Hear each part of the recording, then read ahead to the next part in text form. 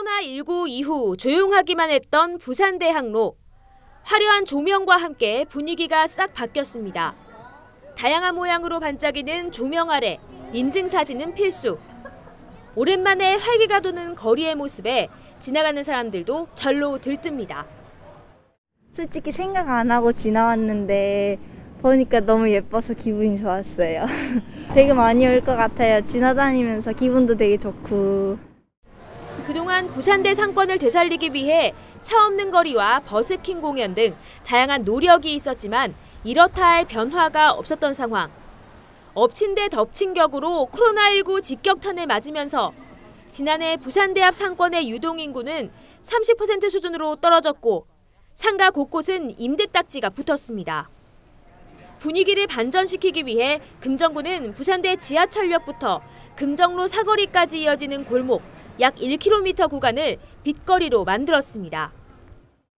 다시 젊음이라는 주제의 빛의 향연은 부산대 앞 상권 부활을 위해 상인과 행정이 함께 만든 작품입니다. 부산대학로를 살리기 위한 상인과 금정구의 고민이 정부의 도시재생 공모사업 선정을 이끌어낸 겁니다. 상인들은 거리두기 완화와 함께 활력이 더해진 거리의 모습에 희망을 품고 있습니다. 최근에 2단계를 하면서부터는 뭐 우리 상인들이 굉장히 많이 절망스러웠고 그냥 좀 더 마음이 따뜻해지는 것 같아요. 오늘 특히나 더 추운데 그래도 뭐 손님이 늘고 보다는 저희 상인들 자체가 위로가 많이 되고 앞으로 약 두 달 동안 부산대 앞에 저녁을 밝힐 조명들. 금정구는 상인들의 의견을 받아 상시 설치가 가능한 조명은 유지하겠다는 계획입니다.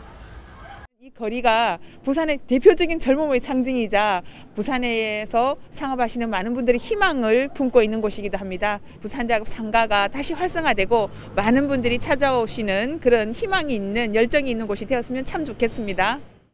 코로나19 장기화에 지친 소상공인과 시민 모두에게 부산대 빛거리가 희망의 따스한 불빛으로 자리 잡을 수 있을지 주목됩니다. 헬로티비 뉴스 장보영입니다.